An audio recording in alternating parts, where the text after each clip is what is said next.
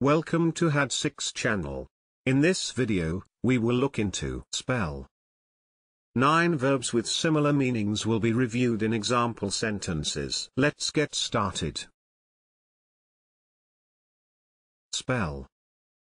Which means mean or have as a result. Number 1. Presage. Which means be a sign or warning of an imminent event, typically an unwelcome one. Presage. For example, the owl's hooting was thought to presage death. Number 2. Portend. Which means be a sign or warning that something, especially something momentous or calamitous is likely to happen. Portend. For example, the eclipses portend some major events. Number 3. Bode. Which means be a portent of a particular outcome. Bode. For example, the look on her face boded ill for anyone who crossed her path. Number 4.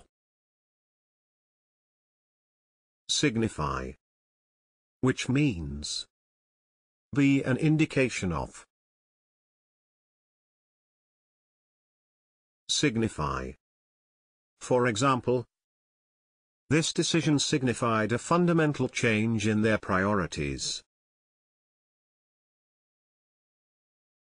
Number 5.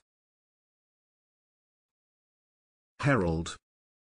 Which means be a sign that something is about to happen. Herald.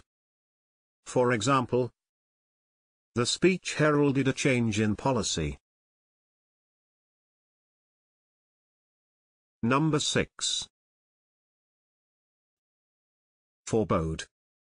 Which means of a situation or occurrence act as an advance warning of something bad. Forebode. For example, this lull foreboded some new assault upon him. Number 7. Betoken. Which means be a warning or indication of a future event. Betoken. For example, she wondered if his cold, level gaze betokened indifference or anger. Number 8. Foretoken.